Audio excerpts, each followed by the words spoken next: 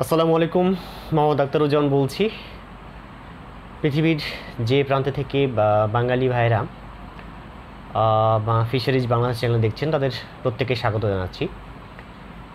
আজকে আমরা একটি অত্যন্ত অর্থনৈতিক গুরুত্ব সম্পন্ন মাছ অর্থাৎ পৃথিবীব্যাপী যে মাছটি হচ্ছে অত্যন্ত খাওয়া হয় ইউরোপ এবং আমেরিকায় যে মাছটির ব্যাপক কদর রয়েছে, সেরকম একটি মাছ অর্থাৎ ভেটকি মাছের, ভেটকি বা কোরাল মাছের চাষ পদ্ধতি নিয়ে কথা বলব। এবং এটি কেন চাষ করবেন? টোটাল প্রসিডিউরটা নিয়ে কথা বলব। আশা করছি আপনারা পুরো ভিডিও জুড়ে আমার সাথে থাকবেন। তো চলুন শুরু করা যাক। ভেটকি বা কোরাল এই মাছটি সারা পৃথিবীব্যাপী মাছটি চাষ করা হয়ে থাকে এবং এটার প্রচুর পরিমাণে চাহিদা রয়েছে। এতে ওমেগা থ্রি এবং ওমেগা সিক্স ফ্যাটি অ্যাসিড রয়েছে, যার ফলে শিশু, বৃদ্ধ থেকে শুরু করে সবাই খেয়ে থাকে এবং ওয়ার্ল্ড ওয়াইড খাওয়া মানে সর্বোচ্চ খাওয়া একটি মাছ, যে মাছটি অনেক মানে খাওয়া হয়ে থাকে। এর মধ্যে ভিয়েতনাম, থাইল্যান্ড, ইন্দোনেশিয়া এবং আমাদের পাশের দেশ ভারত, তারা এই ভেটকি রপ্তানি করে একটা বিশাল পরিমাণের বৈদেশিক মুদ্রা অর্জন করছে, কিন্তু আমরা আনফর্চুনেটলি এই জায়গাটা দখল করতে পারিনি। তো এই মাছটি চাষ পদ্ধতি নিয়ে আসলে কথা বলা দরকার। এই মাছটি হচ্ছে যদিও উপকূলীয় অঞ্চলের মাছ, অর্থাৎ লবণাক্ততা যুক্ত যে পানি আছে সেখানকার মাছ, তবে স্বাদু পানিতেও এই মাছের সাকসেসফুলি কালচার করা সম্ভব। সাধারণত পাঁচ থেকে পঁয়ত্রিশ পিপিটির যে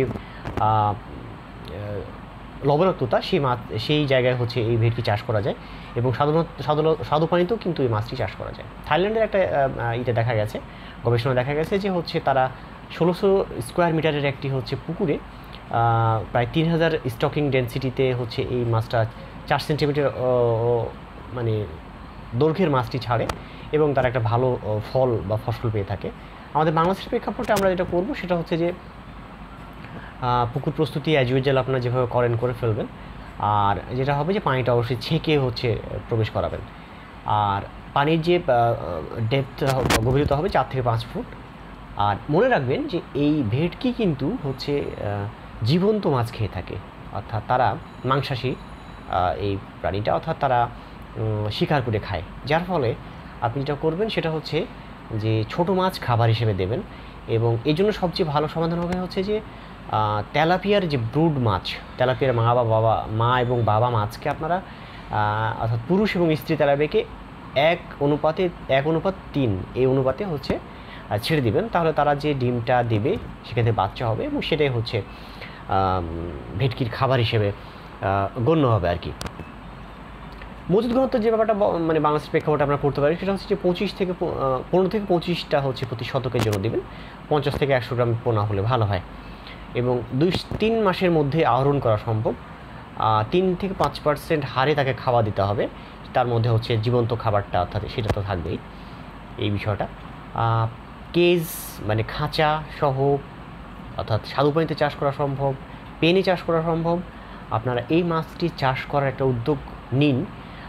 এবং এটা, এই মাছটি চাষের একটা সম্প্রসারণে আমাদের আমাদের খামারি ভাইরা এগিয়ে আসুন।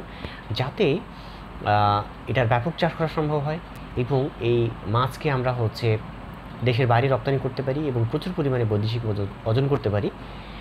এটাই কামনা করছি। চ্যানেলটি সাবস্ক্রাইব করবেন। পাশে থাকা বেল আইকনে ক্লিক করে নোটিফিকেশন অন করে দেবেন যেন হচ্ছে নতুন ভিডিও আসার সাথে সাথে আপনারা পেয়ে যান। বেশি বেশি শেয়ার করবেন খামারিবাদের কাছে, যাদের কাছে গেলে তারা উপকৃত হবেন। ভালো থাকবেন, দেখা হবে অন্য কোনো দিন, অন্য কোনো ভিডিও নিয়ে। সেই পর্যন্ত আল্লাহ হাফেজ।